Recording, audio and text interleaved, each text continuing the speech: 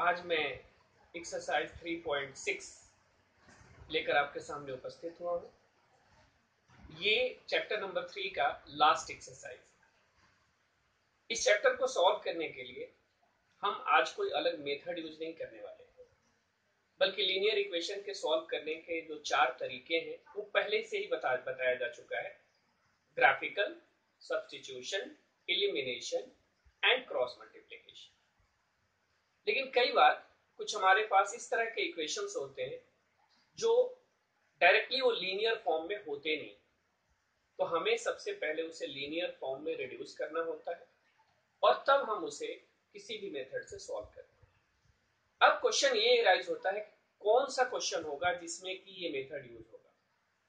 तो इसका सिंपल सा पहचानने का तरीका ये है कि जब कभी इक्वेशन में जो वेरिएबल है एक्स या वाई या ए या बी या पी या क्यू यदि डिनोमिनेटर में हो तो उस केस में हमें पहले इक्वेशन को रिड्यूस करना है, यानी चेंज करना है एक दूसरे वेरिएबल में, और तब हम उसे सॉल्व करेंगे। जैसे हम आज 3.6 का क्वेश्चन नंबर वन हमने लिया है। One upon two x plus one upon three y equal to two one upon three x plus one upon two y is equal to thirteen आप देखेंगे, ध्यान से यहाँ देखिए तो वेरिएबल कहाँ है? X जो है कहाँ है? डिनोमिनेटर में। Y कहाँ है? डिनोमिनेटर में। तो जब कभी क्वेश्चन के अंदर वेरिएबल डिनोमिनेटर में हो तो आप समझ जाना कि हमें उस मेथड को यूज़ करना चाहिए और हम उसे इजीली सॉल्व कर पाएँगे। तो हमने यहाँ पे क्या किया? कि वन अपॉन एक्स को यू ले लिया। वन अपॉन एक्स को हमने क्या ले लिया? यू। और वन अपॉन वाई को हमने ले लिया वी। तो let one upon x is equal to u and one upon y equal to v. अब ये इक्वेशन क्या बन जाएगा? हमने वन अपॉन एक्स के प्लेस पे यू लिया है। और टू इसके डिनोमिनेटर में है। इसीलिए यहाँ पे मैंने लिखा यू अपॉन में टू। कई बार बच्चे यहाँ गलती करते हैं। वो टू यू लिख लेते। टू यू तब होता जब टू यहाँ न्यूमिनेटर में होता।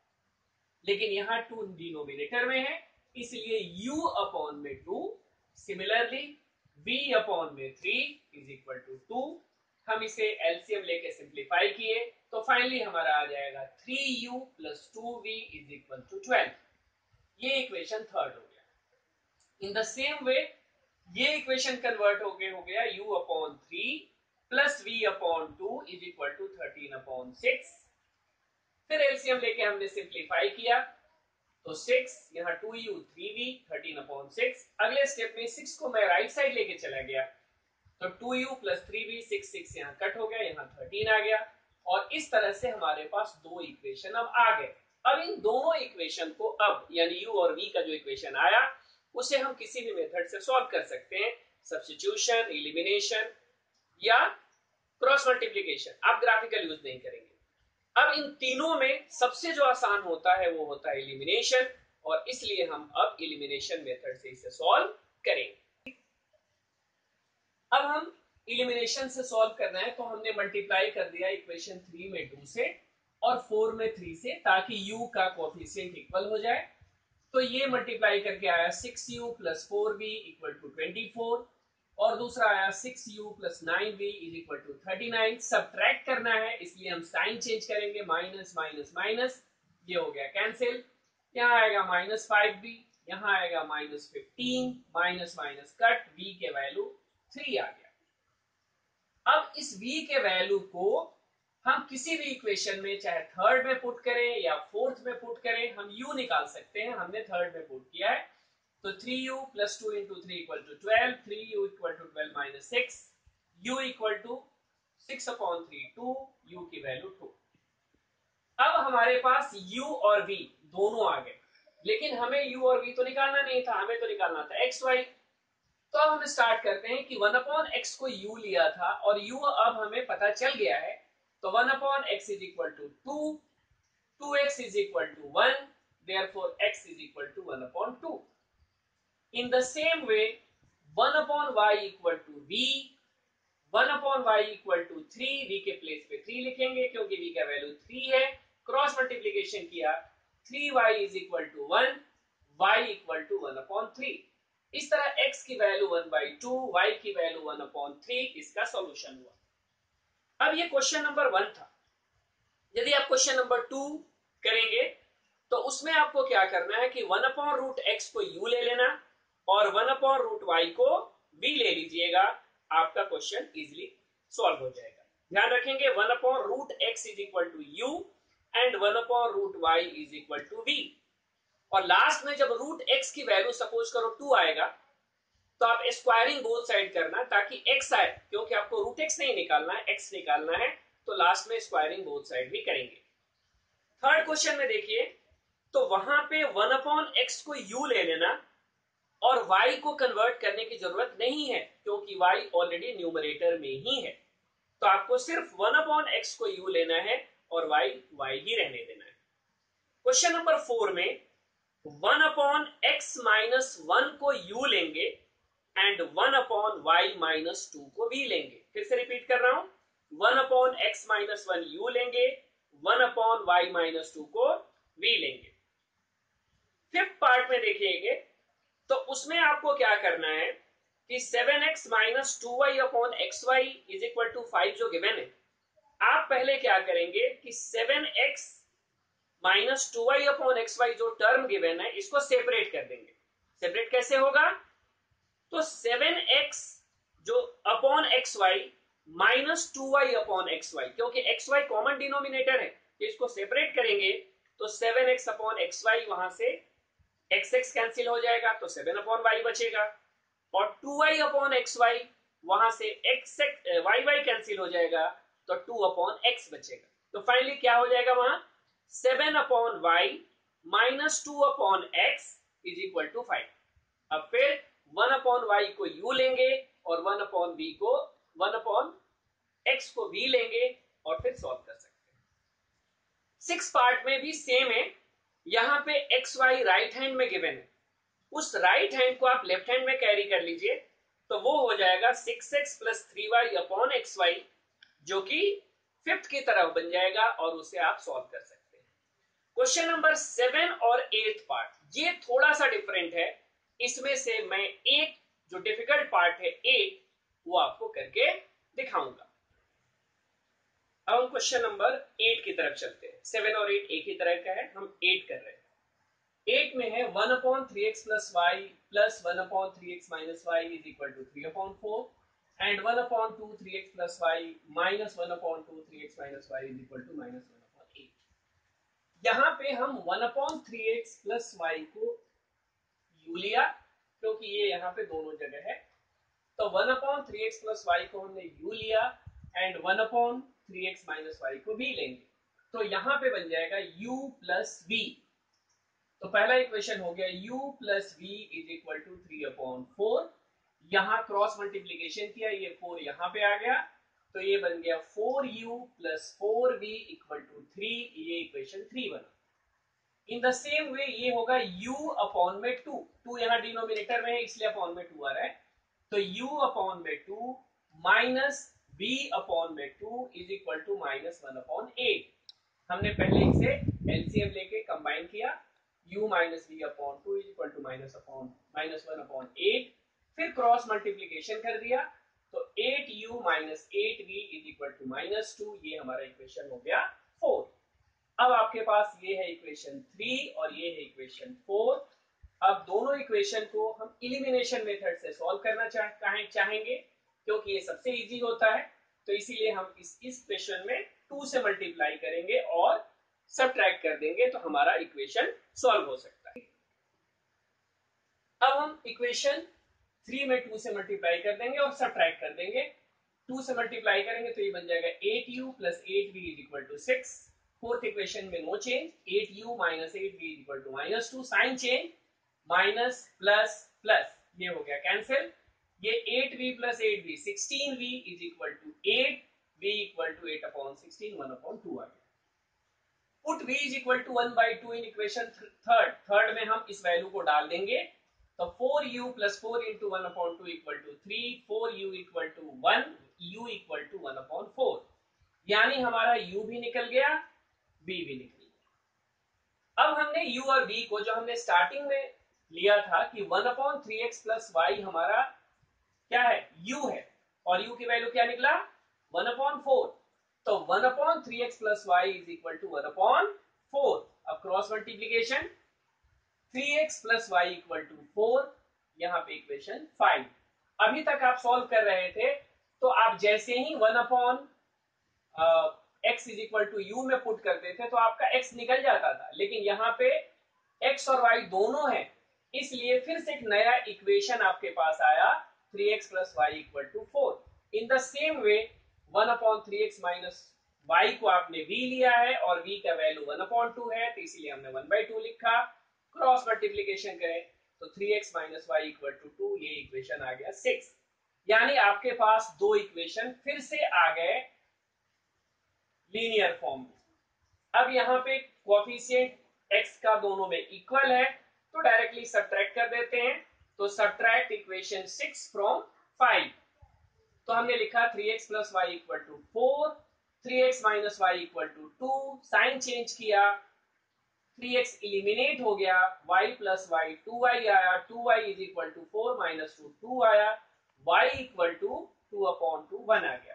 अब इस y के वैल्यू को आप किसी भी इक्वेशन फाइव में या सिक्स में किसी में भी पुट करेंगे तो आप x निकाल सकते हैं. और इस तरह ये क्वेश्चन आपका कंप्लीट हो जाएगा। अब हम क्वेश्चन नंबर टू पे आते हैं, जो कि वर्ड प्रॉब्लम क्वेश्चन है। उसका और ये काफ़ी इंपॉर्टेंट है, इसके तीनों पार्ट बहुत ही इंपॉर्टेंट है। तो फ़र्स्ट पार्ट जो है, वो अप स्ट्रीम डाउन स्ट्रीम से रिलेटेड है। सबसे पहले समझना है अप स्ट्रीम क्या है डाउन स्ट्रीम क्या होता है। Upstream means against the stream stream मतलब करेंट रिवर की जो फ्लो होती है रिवर में पानी एक डिफरेंट स्पीड से ट्रेवल करता है, उस फ्लो को हम करंट कहते हैं स्ट्रीम कहते हैं। तो यदि हम स्ट्रीम के अगेंस्ट जा रहे हैं तो वो कहलाएगा अगेंस्ट द स्ट्रीम जिसको हम अप स्ट्रीम कहेंगे। और जब विद द स्ट्रीम जाएँगे, उसको कहेंगे डाउन स्ट्रीम यानी हम रिवर के जिधर डायरेक्शन है फ्लो करने की उस डायरेक्शन में जाए। यदि हम एक रियल एग्जांपल से देखें तो हरिद्वार से हम ऋषिकेश के तरफ़ जाएँ तो अप स्ट्रीम कहलाएगा। और ऋषिकेश से हरिद्वार की तरफ़ आए तो डाउन स्ट्रीम कहलाएगा यानी डाउन स्ट्रीम में हमारी स्पीड बढ़ जाती है अप स्ट्रीम में हमारी स्पीड कम हो जाती है। तो सबसे पहले हमने यहाँ पे let speed of boat x kilometre लिया है and speed of current y लिया है। यानी बोट की स्पीड x है करंट की स्पीड y है। तो जब आप अप स्ट्रीम जाएँगे, यानी हरिद्वार से ऋषिकेश की तरफ़ जाएँगे तो रिजल्टेंट स्पीड हो जाएगी x माइनस वाई क्योंकि x आप फोर्स लगाओगे ऋषिकेश की तरफ़। और जो गंगा रिवर है, उसकी जो वाटर की स्पीड है, वो y है, वो आपको काउंटर करेगी ब्लॉक करेगी। तो इसलिए आपका जो रिजल्टेंट स्पीड होगा, वो होगा x minus y and speed in downstream यानी जब आप ऋषिकेश से हरिद्वार की तरफ़ आ रहे हो तो वहाँ पे आपकी स्पीड है एक्स रिवर की स्पीड है वाई तो ये दोनों ऐड हो जाएगा। यानी आपका रिजल्टेंट स्पीड होगा एक्स प्लस वाई तो कहीं भी डाउन स्ट्रीम अप स्ट्रीम का क्वेश्चन हो तो इतना तो पहले एज्यूम कर ही लेंगे। और हमेशा ये ध्यान रखना है कि हमेशा बोट की जो स्पीड होती है, वो लार्जर होगी रिवर के स्पीड से। कभी भी y ग्रेटर नहीं हो सकता, x से, x ऑलवेज ग्रेटर होगा, y से इसीलिए x minus y x plus y अब हम एक फॉर्मूला जानते हैं स्पीड का, कि डिस्टेंस अपॉन टाइम होता है। तो अब क्वेश्चन में लिखा हुआ है कि वो 20 kilometer down stream two hour में जाती तो हमने यहाँ पे 20 किलोमीटर क्या है? डिस्टेंस टाइम क्या है? टू आवर्स और डाउन स्ट्रीम तो डाउन स्ट्रीम के लिए हम एक्स प्लस वाई यूज़ करेंगे। तो x plus y is equal to twenty upon two cancel करके टेन आया तो x plus y equal to ten ये हमारा इक्वेशन वन बना। इन द सेम वे दूसरी कंडीशन में दिया हुआ है कि upstream four kilometre in two hours तो up stream up stream speed है एक्स माइनस वाई तो यहाँ एक्स माइनस वाई लिखा है स्पीड की जगह। और डिस्टेंस की जगह हमने फोर किलोमीटर लिया टाइम की जगह टू लिखा टू से फोर को क्रॉस किया। तो x minus y equal to two आया, जो इक्वेशन हमारा टू है।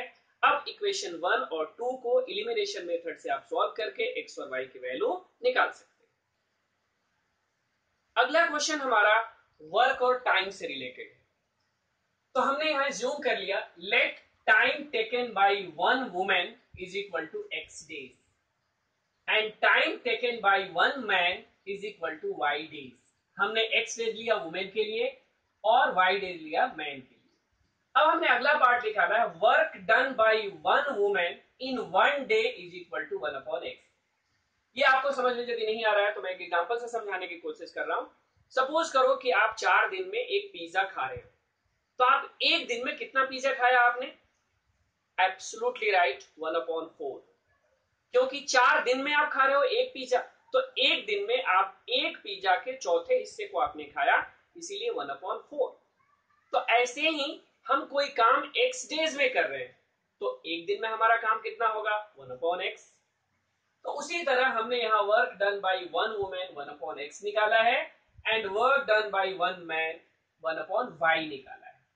अब क्वेश्चन में लिखा है कि if two women and five men work together for four days embroidery work will be completed two women तो ये two into one upon x two यानी दो के लिए, और एक का काम ये है, इसलिए हमने मल्टीप्लाई किया। फाइव मेन तो फाइव और मेन का ये वर्क है। और इफ़ दे वर्क टुगेदर इसीलिए हमने बीच में प्लस का साइन दिया, क्योंकि दोनों साथ काम कर रहे हैं। और कितने दिन तक? चार दिन तक करें तो work will be completed total work हमेशा वन लिया जाता है, इसीलिए हमने वन लिखा है। अगले स्टेप में हमने इसे सिंप्लीफाई कर दिया, ये हो गया टू अपॉन एक्स ये हो गया फाइव अपॉन वाई फोर को हमने दूसरी साइड पे लेके चले गए तो वन अपॉन फोर बना। ये हमारा equation one in the same way three women तो three upon x six men यानी सिक्स अपॉन वाई और यहाँ पे इंटू थ्री डेज़ किया है। अगले स्टेप में हम वन अपॉन थ्री कर लेंगे तो ये हमारा इक्वेशन टू हो जाएगा। और अब आप वन अपॉन एक्स को यू और वन अपॉन वाई को आप वी ले लेंगे तो इसे सिंप्लीफाई कर पाएँगे, और इस तरह क्वेश्चन नंबर टू कंप्लीट हो जाएगा। अब हम थर्ड पार्ट की तरफ़ चलते हैं, जो बहुत ही इंपॉर्टेंट क्वेश्चन है। इसमें रूही जो है वो 300 किलोमीटर डिस्टेंस है टोटल वो partly by train and partly by bus से कवर कर रही है। तो इसीलिए हमें दो मोड ऑफ़ ट्रांसपोर्ट यूज़ करना है। तो हमने स्पीड ऑफ़ ट्रेन को एक्स ले लिया और स्पीड ऑफ़ बस को वाई ले लिया। अब हमें पता है टाइम का फॉर्मूला कि डिस्टेंस अपॉन स्पीड होता है। तो क्वेश्चन में लिखा हुआ है कि वो यदि 60 किलोमीटर ट्रेन से ट्रैवल करे और रिमेनिंग डिस्टेंस बस से ट्रैवल करे तो उसे चार घंटे लगते तो हमें टाइम निकालना है। तो टाइम का फॉर्मूला है डिस्टेंस अपॉन स्पीड तो डिस्टेंस हो गया 60 स्पीड हो गया x तो ये हुआ टाइम टेकन बाय ट्रेन यानी ट्रेन में उसको इतना टाइम लगेगा। एंड 240 अपॉन वाई 240 कहाँ से आया? तो टोटल डिस्टेंस था 300 किलोमीटर 300 किलोमीटर में वो 60 किलोमीटर ट्रेन से ट्रैवल कर चुकी है। तो बचा हुआ डिस्टेंस जो होगा 240 होगा और वो बस से ट्रैवल करनी है तो उसका टाइम टेकन हो जाएगा 240 अपॉन वाई क्योंकि डिस्टेंस हो गया 240 स्पीड हो गया वाई तो 240 upon y and is equal to four क्योंकि चार घंटे दोनों मिला करके टाइम दिया हुआ है। तो पहला इक्वेशन हो गया 60 upon x 240 upon y is equal to four equation one in the same way दूसरे कंडीशन में लिखा हुआ है कि if she travel 100 kilometre by train तो 100 अपॉन एक्स हो गया। रिमेनिंग बाई बस तो रिमेनिंग कितना हुआ? तो 300 में 100 माइनस कर देंगे तो रिमेनिंग आएगा 200 तो 200 upon y and she takes 10 minutes longer 10 minutes longer का मतलब 10 मिनट ज़्यादा, यानी चार घंटे तो लगेगा ही लगेगा। 10 मिनट और। इसीलिए हमने यहाँ लिखा है four hour and ten minutes अब यहाँ पे आवर और मिनट्स दोनों एक साथ नहीं रह सकता है। तो हमने टेन मिनट्स को आवर में कन्वर्ट कर दिया। तो फोर होल में लिखा और टेन अपॉन सिक्सटी कर दिया। ये ज़ीरो से ज़ीरो कट हो गया। अब ये बन गया एक मिक्स फ्रैक्शन और इसको इम्प्रॉपर में चेंज करेंगे। तो सिक्स फोर जा twenty four plus one twenty five upon six इस तरह से हमारे पास दो इक्वेशन आ गया। First this and second this और अब हम वन अपॉन एक्स को यू लेंगे। और वन अपॉन वाई को वी लेंगे, सॉल्व करेंगे तो ये ऑलरेडी सॉल्व हो जाएगा। इस तरह हमने आज इस वीडियो के द्वारा थर्ड चैप्टर कंप्लीट किया है।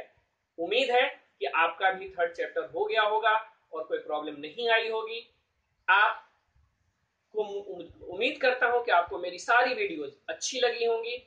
यदि आप नए व्यूअर हैं तो प्लीज़ लाइक कीजिए शेयर कीजिए सब्सक्राइब कीजिए। और बेल आइकन को ज़रूर यूज़ कीजिए ताकि आपको जैसे ही मैं वीडियो अपलोड करूँ, आपको मिल जाए और आप इसका लाभ उठा सकें। Till then good bye